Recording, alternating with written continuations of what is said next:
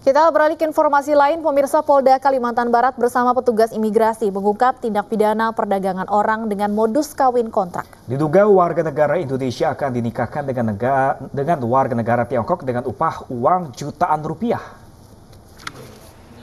Sebuah rumah mewah digeledah petugas gabungan di Kecamatan Pontianak Selatan, Kalimantan Barat.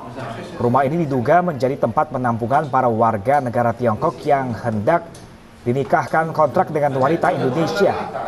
Satu persatu kamar digeledah guna mencari warga negara Tiongkok yang bersembunyi.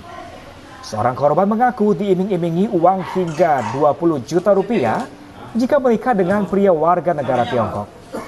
Sehingga polisi langsung menyita sejumlah barang bukti seperti kwitansi dan surat perjanjian persetujuan pernikahan.